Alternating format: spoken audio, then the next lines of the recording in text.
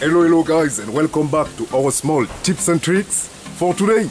And in this video, I will be showing you how I'm dealing with straight edges on my woodwork.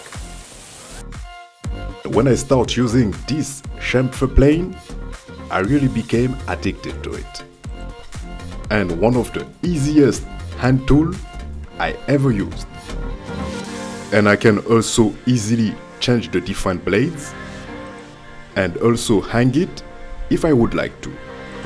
And I'm using it on my different pallet wood projects.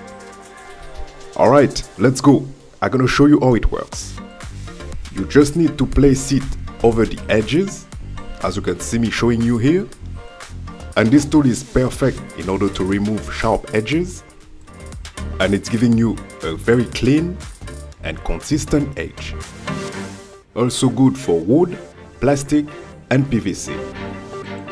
So now that both of my shelves are ready, I can go and finish the assembly.